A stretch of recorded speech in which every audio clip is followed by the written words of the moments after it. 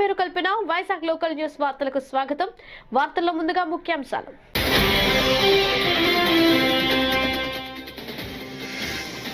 శీతాకాలం విడికి హైదరాబాద్ విచ్చేసిన భారత రాష్ట్రపతి ద్రౌపది ముర్ము. మంగళవారం హైదరాబాద్లో పర్యటన.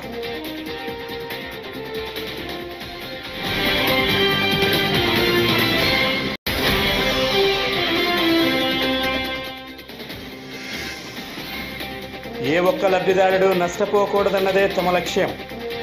వెల్లడించిన ముఖ్యమంత్రి వైఎస్ జగన్మోహన్ రెడ్డి.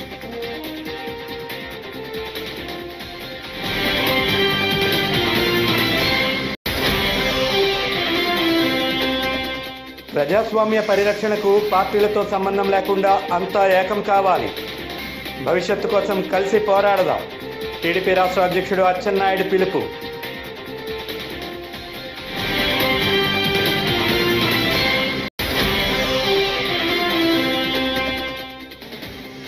సింహాచలంలో ఘనంగా ధనుర్మాసోత్సవాలు. పెరుమాళ్ పీఠం సానభోని రాజస్వామి ఆధ్వర్యంలో చందనమాలలు ధరించిన పలువురు స్వాములు.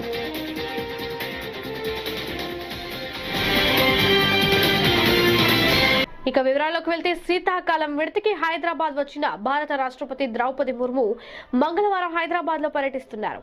ఈ సందర్భంగా నారాయణగూడలోని కేశవ్ మెమోరియల్ కాలేజ్ విద్యార్థులతో రాష్ట్రపతి ముఖాముఖి కార్యక్రమాన్ని నిర్వహించారు. విద్యార్థులు ఫ్యాకల్టీలతో ఇంటరాక్ట్ అయ్యారు.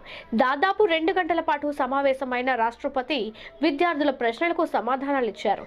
ఈ సందర్భంగా రాష్ట్రపతి ద్రౌపది ముర్ము మాట్లాడుతూ తన విద్యా విధానంలో క్రమశిక్షణ ఉంటుందని సిలబస్లో చిన్నారులు చిన్ననాటి నుంచి తల్లిదండ్రుల గురించి మాత్రమే కాదు వ్యవహారికత కూడా నేర్చుకోవాలని సూచించారు. It is my great pleasure to be here today. Among such bright and enthusiastic young minds. I would like to begin by recognizing the rich history and novel mission of the Keshav Memorial Education Society. Founded in 1945, 1940 by Sri Vinayak Rai Vidya Lankar in honor of his father, Justice Keshav Rao Karatkar. Peace institution has single use plastic వస్తువులను రానున్న కాలంలో పూర్తిగా నిషేధించేలా చర్యలు తీసుకుంటున్నట్లు GVMC mayor Golagani Harivenkata Kumar తెలిపారు. రెండు వేల ఇరవై రెండు సంవత్సరానికి గాను జీవీఎంసీ చేసిన అభివృద్ధి పనులు సాధించిన ప్రగతి గురించి ఆమె జీవీఎంసీ కమిషనర్ రాజాబాబు డిప్యూటీ మేయర్లు జియాని శ్రీధర్ కటమూరు సతీష్తో కలిసి మీడియా సమావేశం నిర్వహించారు. ఈ సందర్భంగా మేయర్ మాట్లాడుతూ ప్రజల తోడ్పాటుతోనే జీవీఎంసీ అనేక ప్రతిష్టాత్మక అవార్డులు గెలుచుకుందని అన్నారు. జీవీఎంసీ కమిషనర్ రాజ్బాబు మాట్లాడుతూ జీవీఎంసీ రెవెన్యూ పరంగా ఆదాయం వచ్చే మార్గాలను వెతుకుతున్నామని గతంలో జీవీఎంసీకు మూడు వందల ఎనభై కోట్ల బకాయిలు రావాల్సి ఉండగా వాటిలో రెండు వందల ఇరవై ఎనిమిది కోట్ల రూపాయలు వసూలు చేశామన్నారు. శివారు ప్రాంతాల్లో నీటి సమస్యలు పరిష్కరిస్తామన్నారు. ఇరవై రెండు సంవత్సరానికి వీడ్కోలు పలుకుతూ నూతన సంవత్సరం రెండు వేల ఇరవై మూడుకు ఆహ్వానం పలుకుతున్న సందర్భంగా ఈ మీ అందరికీ ముందస్తుగా హృదయపూర్వక నూతన సంవత్సరం మరియు సంక్రాంతి శుభాకాంక్షలు తెలియజేసుకుంటున్నాను. మహావిశాఖపట్నం నగరపాలక సంస్థకు మేయర్గా నేను పదవిని చేపట్టి నాటి నుండి నాతో పాటు తొంభై ఏడు మంది వార్డు కార్పొరేటర్లతో కలిసి విశాఖ నగరాన్ని అభివృద్ధి పదంలో నడుపుతూ నగర ప్రజలకు కావలసిన మౌలిక సదుపాయాలు కల్పించడం సంక్షేమ కార్యక్రమాలను అందించడం జరుగుతున్నదని తెలియజేస్తున్నాను.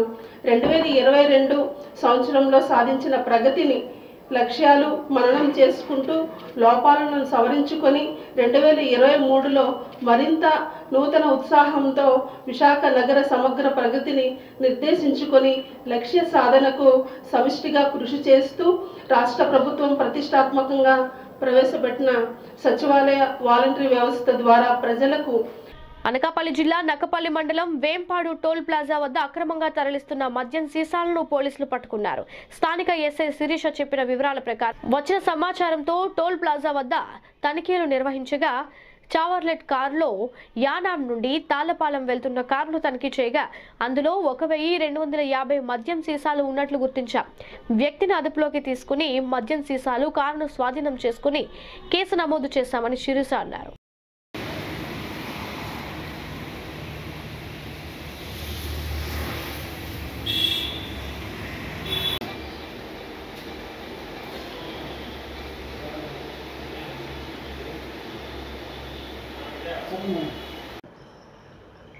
నమస్కారం అండి. నేను నక్కపల్లి ఎస్ఐని మాకు ఈరోజు అక్రమంగా మద్యం తరలిస్తున్నారనే సమాచారం నేను నా స్టాఫ్తో కలిసి వేంపాడు టోల్గేట్ దగ్గర వెహికల్ చెకింగ్ చేస్తుండగా ఒక కారులో ఒక వ్యక్తి పన్నెండు వందల యాభై బాటిళ్ళు అక్రమంగా మద్యం తరలిస్తున్న మేము పట్టుకోవడం జరిగింది. ఆ నిందితుడిని అరెస్ట్ చేసి పన్నెండు వందల యాభై బాటిళ్ళు సీజ్ చేయడం జరిగింది. కేసు నమోదు చే నమోదు చేసాము వ్యక్తిని కూడా అరెస్ట్ చేసాము కార్ని అండ్ బాటిల్స్ని కూడా సీజ్ చేసాం నర్సీపట్నం వివిధ అభివృద్ధి కార్యక్రమాల ప్రారంభోత్సవానికి నర్సీపట్నం వస్తున్న సీఎం జగన్మోహన్ రెడ్డికి నర్సీపట్నం నియోజకవర్గంలో సమస్యలపై వినతిపత్రం అందజేస్తామని జనసేన పార్టీ నర్సీపట్నం నియోజకవర్గ ఇన్ఛార్జ్ రాజాన వీ- వీర సూర్యచంద్ర పేర్కొన్నారు. సోమవారం నర్సీపట్నం ఎన్జీఓ హోంలో జరిగిన విలేకరుల సమావేశంలో ఆయన మాట్లాడుతూ నర్సీపట్నం నియోజకవర్గంలో ఎన్నో సమస్యలు ఏళ్ళు గడుస్తున్నా పరిష్కారం కాలేదన్నారు. స్థానిక ఎమ్మెల్యే గణేష్ విమర్శలు ఇస్తున్న స్థానిక ఎమ్మెల్యే గణేష్ విమర్శలకు ఇస్తున్న ప్రాముఖ్యత నియోజకవర్గంలో ఉన్న స- సమస్యలను పరిష్కరించడంలో ఏమాత్రం శ్రద్ధ చూపడం లేదన్నారు. దీంతో తామే నియోజకవర్గ సమస్యలను సీఎంకు వివరిస్తామని చెప్పారు.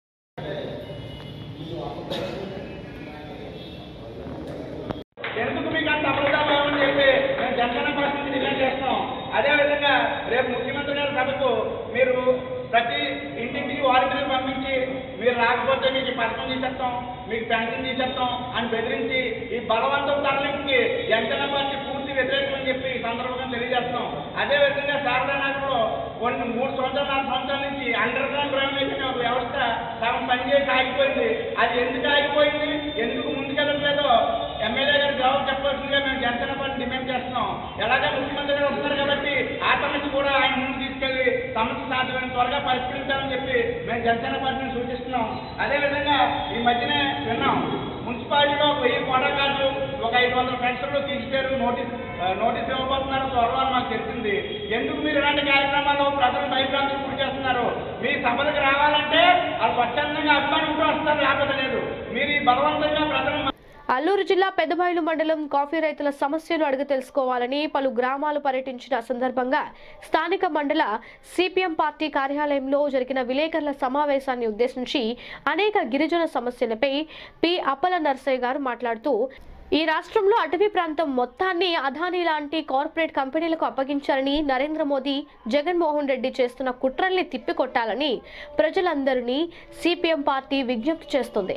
నేడు భారత రాష్ట్రపతిగా ఆదివాసీ మహిళను పెట్టి ఆదివాసీ అటవీ ప్రాంతాలన్నింటినీ సంపదను మొత్తాన్ని కార్పొరేట్ వ్యక్తుల పరం చేయాలని నరేంద్ర మోదీ ప్రభుత్వం ఒక ప్రణాళికబద్ధంగా పనిచేస్తుంది. అల్లూరు జిల్లా చింతపల్లిలో ఎర్రవరం పవర్ ప్రాజెక్ట్ అనంతగిరి మండలంలో పెద్దకోట గుజ్జులి చిట్టంపాడు మూడు ప్రాంతాలలో పవర్ ప్రాజెక్ట్ నిర్మాణం కోసం సుమారు నాలుగు వేల ఎనిమిది వందల మెగావాట్ల విద్యుత్ ఉత్పత్తి చేయాలని పదిహేను వేల ఎకరాల అటవీ భూమి దారాదత్తం చేయటం కోసం కుట్రపూరితంగా చర్యలు చేస్తున్నారు.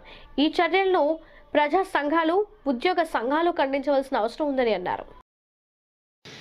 అటవీ ప్రాంతం మొత్తాన్ని అదాని లాంటి కార్పొరేట్ కంపెనీలకు అప్పగించాలని చెప్పి నరేంద్ర మోడీ జగన్మోహన్ రెడ్డి ప్రభుత్వం చేస్తున్న కుట్రని తిప్పికొట్టాలని ప్రజలందరికీ సిపిఎం పార్టీ విజ్ఞప్తి చేస్తుంది. గతంలో దళిత రాష్ట్రపతి రామ్నాథ్ కోవింద్ని రాష్ట్రపతి చేసి ఎస్సీ స్టేటస్ చట్టాన్ని నిర్వీర్యం చేశారు. సప్లాన్ని రద్దు చేశారు. నేడు భారత రాష్ట్రపతిగా ఆదివాసీ మహిళని పెట్టి ఆదివాసీ ప్రాంతంలో అటవీ సంపద మొత్తాన్ని కార్పొరేట్ సంస్థలకు దోచిపెట్టడానికి నరేంద్ర మోడీ ప్రభుత్వం ఒక ప్రణాళికబద్ధంగా పనిచేస్తుంది. అల్లూరి జిల్లా చింతపల్లిలో ఎర్రవరం పవర్ ప్రాజెక్టు అనంతగిరి మండలంలో మూడు పవర్ ప్రాజెక్టు పెద్దకోట గుజ్జేలి చిట్టంపాడు ప్రాంతాల్లో పవర్ ప్రాజెక్టు నిర్మాణం కోసం ప్రయత్నం చేస్తుంది. నాలుగు వందల ఎనిమిది నాలుగు వేల ఎనిమిది వందల మెగావాట్ల విద్యుత్తు ఉత్పత్తి కోసం సుమారు పదిహేను వేల అటవీ ఎకరాల భూమిని ఈరోజు దారదత్తం చేయడం కోసం కుట్రపూరితంగా ఈ చర్య జరుగుతుంది. దీన్ని ప్రజా సంఘాలు ఉద్యోగ సంఘాలందరూ ఖండించాల్సిన అవసరం ఉందని చెప్పి మేము భావిస్తున్నాం. ఎందుకంటే ఇది ఐదో షెడ్యూల్డ్ ఏరియా. ఈ ఐదో షెడ్యూల్డ్ ఏరియాలో వన్ ఆఫ్ సెవెంటీ ఉంది అటవీ హక్కుల చట్టం అమల్లో ఉంది పీసా గ్రామసభ అమల్లో ఉంది. వీటన్నిటికీ పర్మిషన్ లేకుండా టీఏసీ తీర్మానం లేకుండా ఏకపక్షంగా ఏజెన్సీ ప్రాంతంలో గిరిజన ప్రాంతంలో అటవీ సంపదని కొల్లగొట్టే కుట్ర ఇది నరేంద్ర మోడీది. ఏ ఒక్క లబ్ధిదారుడు నష్టపోకూడదనే తమ లక్ష్యమని ముఖ్యమంత్రి వైఎస్ జగన్మోహన్ రెడ్డి అన్నారు. తమది రైతులు పేదల కష్టాలు తెలిసిన ప్రభుత్వం అన్నారు. అర్హులైనప్పటికీ ఏ కారణం చేతనైనా లబ్ధి పొందని వారికి మరో అవకాశం కల్పిస్తూ రాష్ట్ర వ్యాప్తంగా రెండు లక్షల డెబ్బై తొమ్మిది వేల అరవై ఐదు మందికి ఐదు వందల తొంభై పాయింట్ తొమ్మిది ఒక కోట్ల రూపాయలను ముఖ్యమంత్రి వైఎస్ జగన్మోహన్ రెడ్డి మంగళవారం తన క్యాంప్ కార్యాలయం నుంచి బటన్ నొక్కి ఖాతాల్లో జమ చేశారు. ఈ సందర్భంగా ఆయన మాట్లాడుతూ అర్హత ఉండి సంక్షేమ పథకాలు పొందని వారికి అవకాశం ఇచ్చాం. పలు సంక్షేమ పథకాల లబ్ధిదారులకు నిధులు జమ చేస్తున్నాం. అర్హత ఉన్న ప్రతి ఒక్కరికి సంక్షేమ పథకాలు అందిస్తున్నాం. ఈ మాదిరిగా సంక్షేమ పథకాలు ఇవ్వడం దేశ చరిత్రలోనే లేదని సీఎం అన్నారు.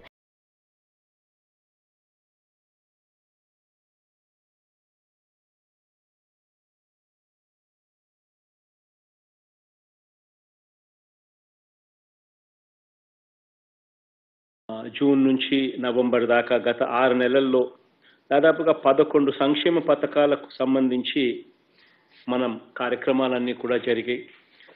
వీటికి సంబంధించి ఎవరైనా పొరపాటున మిస్ అయిపోయి ఉన్న వాళ్ళు ఎవరైనా కూడా ఆ పథకం అయిపోయిన వెంటనే ఒక నెలలోపు అప్లికేషన్ పెట్టుకోండి పెట్టుకున్న తర్వాత రీవెరిఫై చేసి వాళ్ళు కూడా మిస్ కాకుండా మళ్ళీ ఆరు నెలలు తిరక్క మునిపే ఒక రోజు ఒక నెలలో అది ఇస్తాము అని చెప్పేదైతే మనం చెప్పి ఇస్తున్నామో డిసెంబర్ మాసంగా అది చెప్పి ఏదైతే ఇస్తా ఉన్నామో ఈరోజు దానికి సంబంధించి అదే డిసెంబర్ మాసంలో ఆ పదకొండు పథకాలకు సంబంధించి ఏదైతే in between June and November జరిగినాయో ఆ పథకాలు ప్రజాస్వామ్య పరిరక్షణకు పార్టీలతో సంబంధం లేకుండా అంతా ఏకం కావాలని పార్టీలు అభిప్రాయం వేరైనా రాష్ట్ర భవిష్యత్ కోసం కలిసి పోరాడదామని టీడీపీ రాష్ట్ర అధ్యక్షులు అచ్చెన్నాయుడు పిలుపునిచ్చారు. మంగళవారం ఆయన మీడియాతో మాట్లాడుతూ త్వరలో సెస్ విజయవాడ వస్తుందన్న అంతా కలిసి రాష్ట్ర పరిస్థితుల్ని ఆయనకు నివేదిద్దామన్నారు.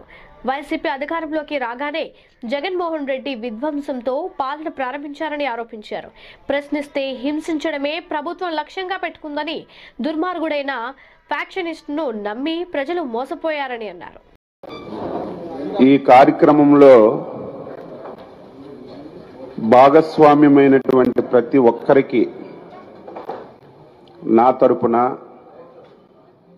మా అధ్యక్షులు శ్రీ నారా చంద్రబాబు నాయుడు గారి తరఫున హృదయపూర్వకంగా నమస్కారాలు తెలియజేస్తూ సమావేశానికి స్వాగతం పలుకుతున్నాను. మనందరికి కూడా తెలుసు రేపు డిసెంబర్ ముప్పైవ తారీఖుకి రాష్ట్రంలో జగన్మోహన్ రెడ్డి పరిపాలన ప్రారంభమై సింహాచలం శ్రీ వరాహలక్ష్మి నరసింహస్వామి ధనుర్మాసం సందర్భంగా శ్రీ చందన్ పెరుమాల్ పీఠం సానబోని రాజస్వామి వారి ఆధ్వర్యంలో చందనమాలను ధరించిన స్వాములు అప్పన్న సోదరి శ్రీ పైడితల్లి అమ్మవారి శోభాయాత్ర మంగళవారం ఘనంగా నిర్వహించారు. అప్పన్న తొలిమెట్టు మొదలై పైడితల్లి అమ్మవారి సదన్ పొట్టు నుండి పైడితల్లి అమ్మవారి గుడి వరకు అమ్మవారి పల్లకితో ప్రతి ఒక్క మహిళా భక్తురాలు పసుపు నీళ్ళ కలశాలతో కాలినడకన అమ్మవారికి గుడికి చేరుకొని అభిషేకాలు నిర్వహిస్తారు. ఈ యొక్క శోభాయాత్రలో తప్పిడిగుళ్ళు గరిడి హరినామ స్మరణతో సంకీర్తనలతో ఊరేగింపు నిర్వహించారు. వరాహ అవతారం నరసింహ అవతారం ప్రహ్లాద అవతారంలో స్వాముల వేషధారణ విశేషంగా ఆకట్టుకున్నాయి. ఈ యొక్క కార్యక్రమంలో పెద్ద ఎత్తున మహిళలు భక్తులు పాల్గొన్నారు.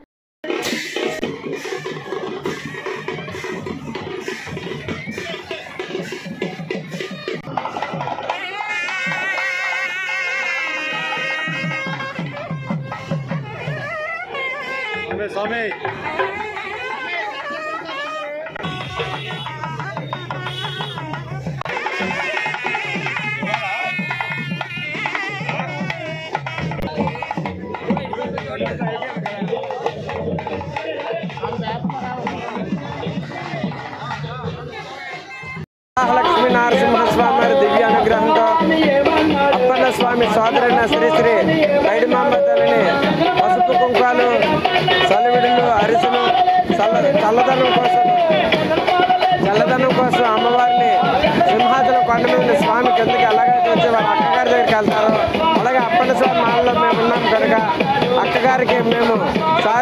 మేము ఈ యాత్ర చేయడము గత ఐదు సంవత్సరాల నుంచి చేయడం జరుగుతుంది.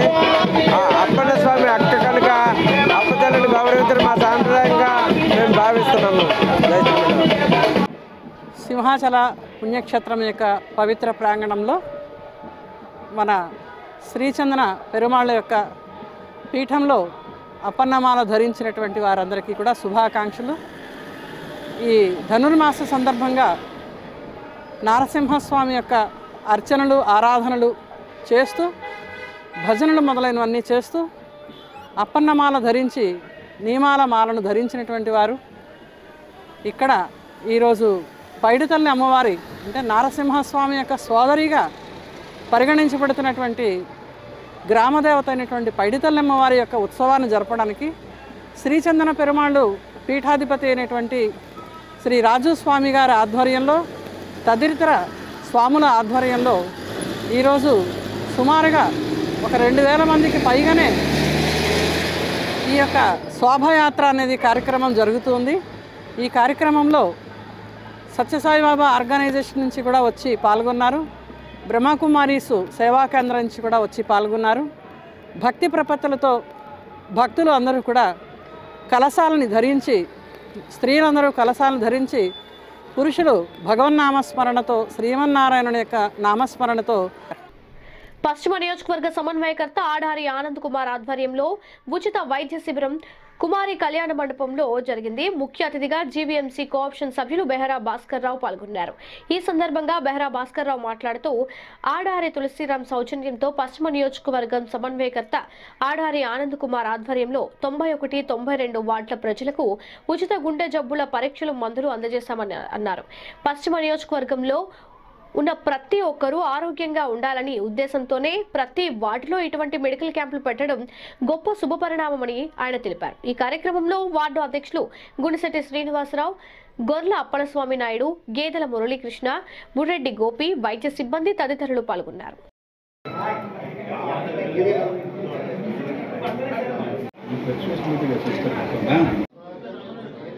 ఆడారి తులసీరావు చారిటబుల్ ట్రస్ట్ ద్వారా వారి తనయుడు ఆడారి ఆనంద్ కుమార్ గారి ఆధ్వర్యంలో ఈరోజు గోపాలపట్నంలో ఉచిత గుండె వైద్య శిబిరాన్ని నిర్వహించడం జరుగుతుంది.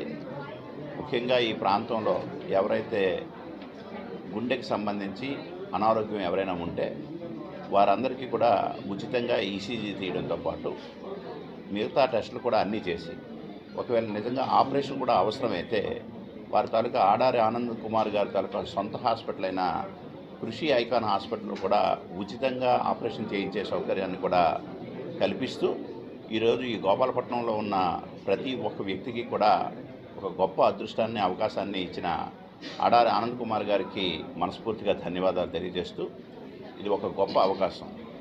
ఈ టెస్టులు చేసుకోవడానికి కానీ లేదా ఆపరేషన్ చేసుకోవడానికి కానీ లక్షల్లో ఖర్చు అయ్యే ఈ పరిస్థితుల్లో పూర్తిగా ఉచితంగా చేస్తాను అని చెప్పి అడారి ఆనంద్ కుమార్ గారు పెద్ద మనసుతో వారి తండ్రి గారైన అడారి తులసీరావు గారు చారిటబుల్ ట్రస్ట్ ద్వారా చేయడానికి ముందుకొచ్చినందుకు మనస్ఫూర్తిగా అభినందిస్తూ.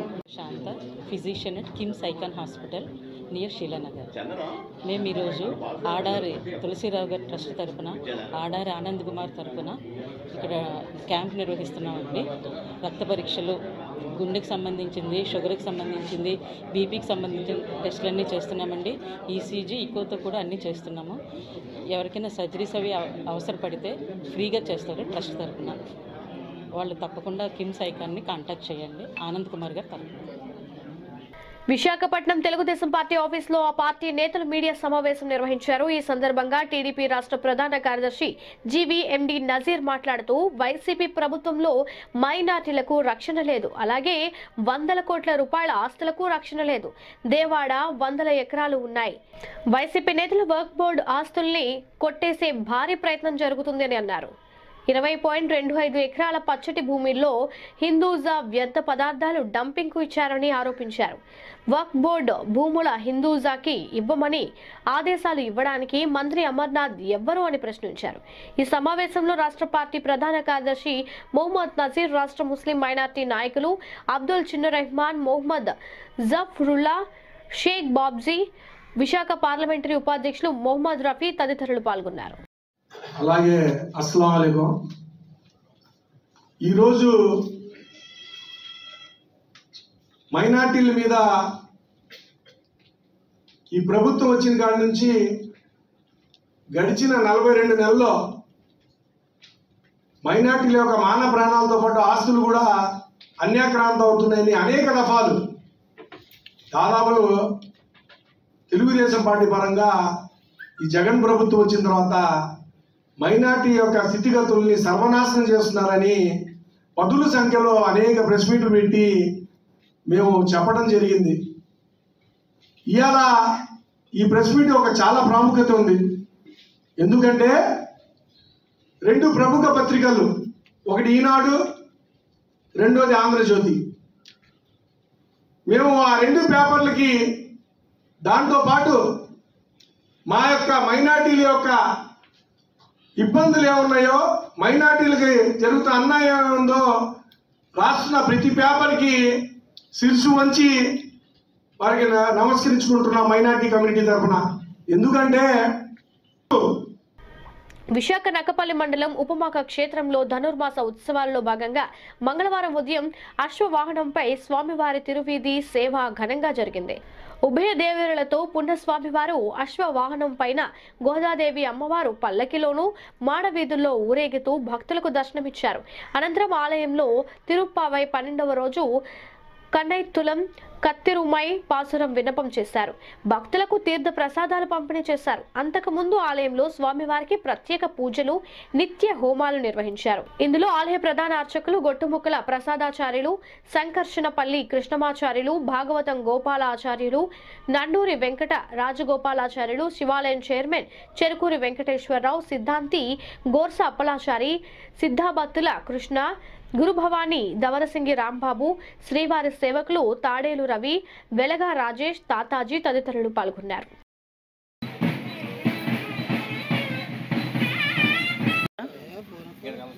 ఇది నొక్కితే ఫోటోలు వచ్చేది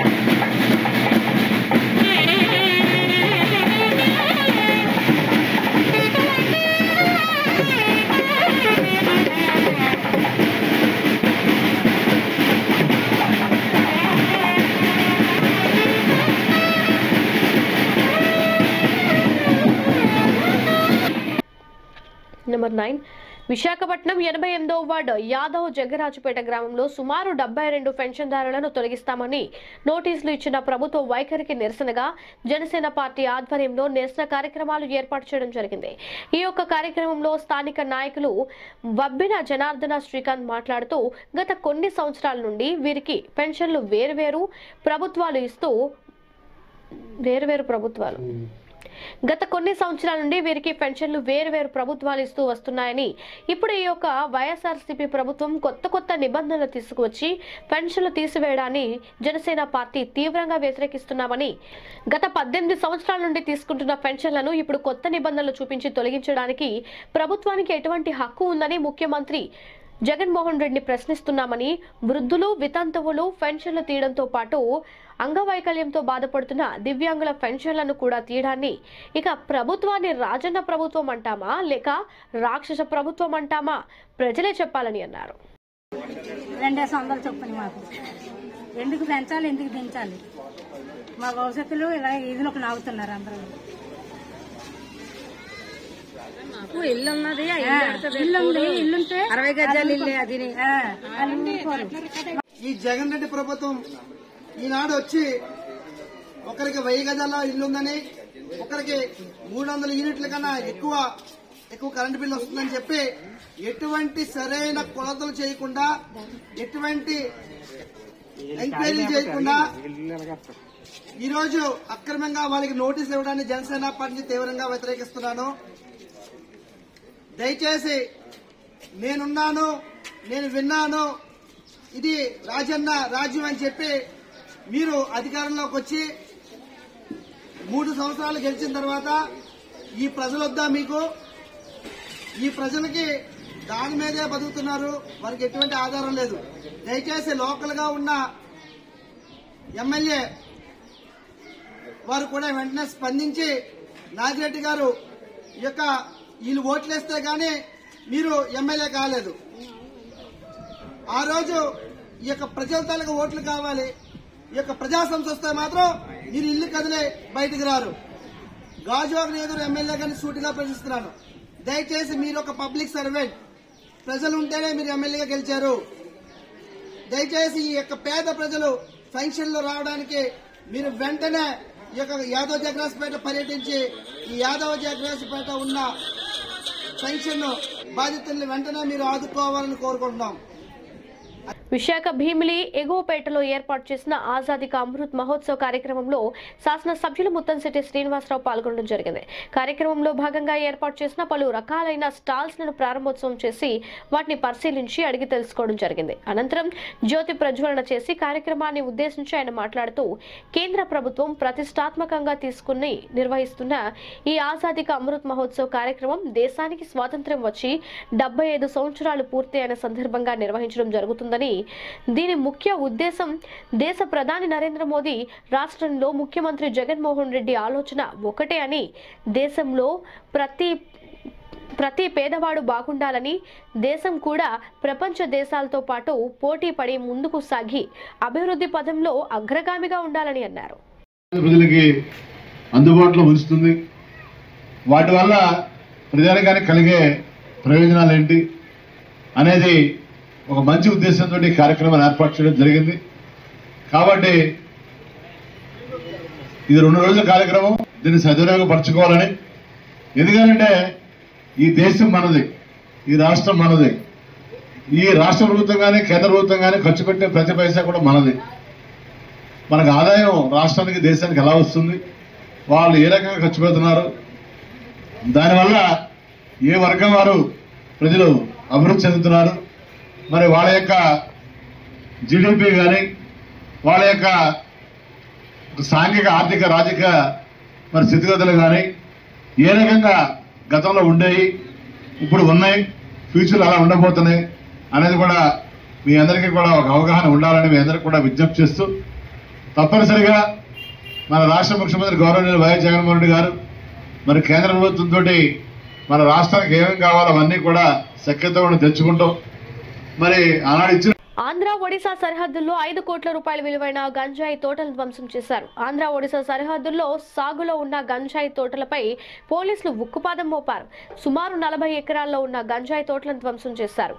ఏవీబీలోని మల్కన్గిరి జిల్లా కలిమెల బ్లాక్ పరిధిలో కుర్మనూర్ గ్రామాల్లో సాగవుతున్న నలభై ఎకరాలు గంజాయి తోటలను రెండు రోజుల పాటు ధ్వంసం చేశారు. ధ్వంసం చేసిన గంజాయి తోటలు ఎవ్వరికీ ఉపయోగపడకుండా వాటిని నిటించారు ఈ మూడు గ్రామాల్లో సుమారు యాభై వేల మొక్కలను ధ్వంసం చేసినట్లు పోలీసులు తెలిపారు.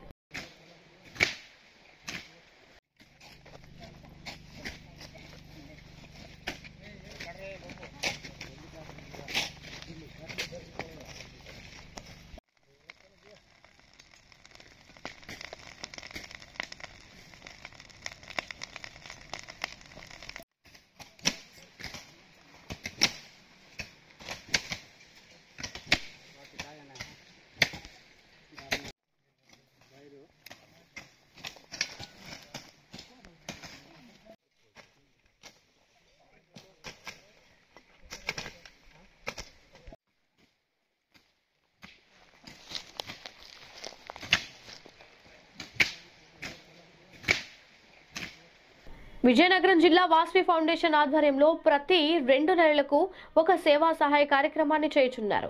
అందులో భాగంగా ఇరవై ఏడో తారీఖు పన్నెండో నెల రెండు వేల ఇరవై రెండు అంటే నేడు మంగళవారం నెల్లుమరలలో గల కుసుమంచి సామాజిక భవనం నందు శ్రీ కన్యకా పరమేశ్వరి వృద్ధాశ్రమంలో వారు కోరిన మేరకు ప్రెస్టేజ్ కుక్కర్ ప్రెస్టేజ్ మిక్సీ తదితర వంట సామాగ్రిని ముఖ్య అతిథి మరియు ప్రముఖ వ్యాపారవేత్త శ్రీ ఉడత కాశీ విశ్వనాథం గారి చేతుల మీదుగా అందించారు. ఈ సందర్భంగా అధ్యక్షులు మండవిల్లి వెంకటరాజు కార్యదర్శి ఒబ్బిలిశెట్టి వెంకట సత్యనారాయణ ఏడుకొండలు కోశాధికారి ఆకి సూర్యప్రకాష్ రావు మీడియాతో మాట్లాడారు. కార్యక్రమంలో వాస్వి ఫౌండేషన్ రాష్ట్ర zonal president Tava Mohan Rao project chairman Bandaru Bangaru Babu project co chairman Gadi Jagadish project co chairman Kusumanchi Venkatrao convener Boda Nanaji వీరితో పాటు కమిటీ సభ్యులు కూడా పాల్గొన్నారు. వార్తలు ముగించే ముందు ముఖ్యాంశాలు మరోసారి.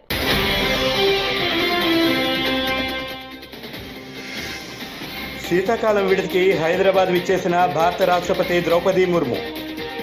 మంగళవారం హైదరాబాద్లో పర్యటన.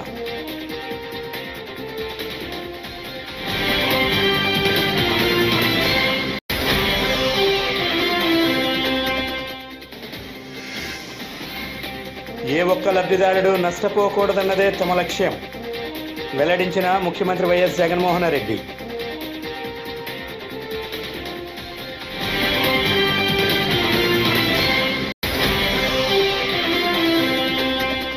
ప్రజాస్వామ్య పరిరక్షణకు పార్టీలతో సంబంధం లేకుండా అంతా ఏకం కావాలి.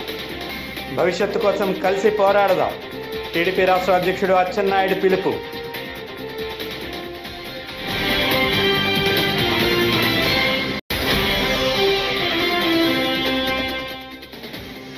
సింహాచలంలో ఘనంగా ధనుర్మాసోత్సవాలు.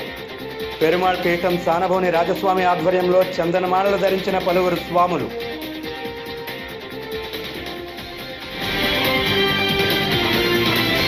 ఈ వార్తలు ఇంతటితో సమాప్తం. తిరిగి మరో తాజా బులెటిన్లో కలుసుకుందాం. అంతవరకు సెలవు నమస్కారం.